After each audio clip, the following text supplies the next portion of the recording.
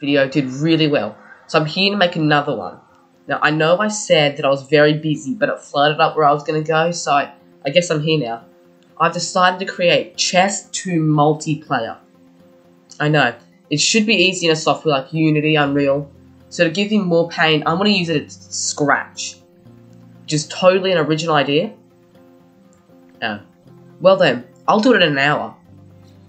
First, I attempt to get cloud variables working, which took roughly 35 minutes. After that, it was bug, bug fixing and duplicating the pieces, so you know, you had more than one piece. Now, we all know it's not that easy, but you know, let's be honest, no one wants to see the code. Let's just get to the juicy parts.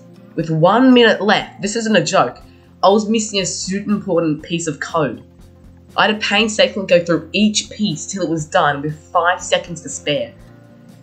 But then I realised I've missed the most vital piece on the board, the bear. I've run out of time. How I mention It's like it's the bear. It's like the most unique, cool piece on the board. Anyway, here's the finished product. You can see that you can move each piece and it moves on everyone's screen.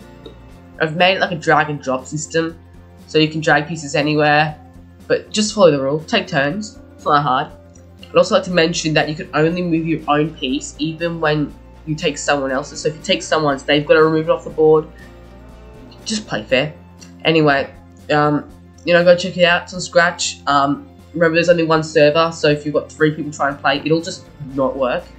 Anyway, subscribe, click the like button, and Egyptian bird.